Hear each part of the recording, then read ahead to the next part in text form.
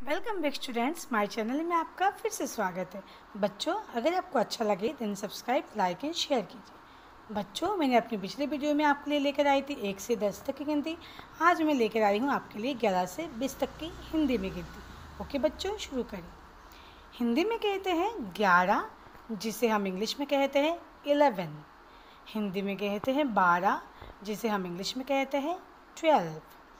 हिंदी में कहते हैं तेरह जिसे हम इंग्लिश में कहते हैं थर्टीन हिंदी में कहते हैं चौदह जिसे हम इंग्लिश में कहते हैं फोर्टीन हिंदी में कहते हैं पंद्रह जिसे हम इंग्लिश में कहते हैं फिफ्टीन हिंदी में कहते हैं सोलह जिसे हम इंग्लिश में कहते हैं सिक्सटीन हिंदी में कहते हैं सत्रह जिसे हम इंग्लिश में कहते हैं सेवेंटीन हिंदी में कहते हैं अट्ठारह जिसे हम इंग्लिश में कहते हैं एटीन हिंदी में कहते हैं उन्नीस, जिसे हम इंग्लिश में कहते हैं नाइनटीन।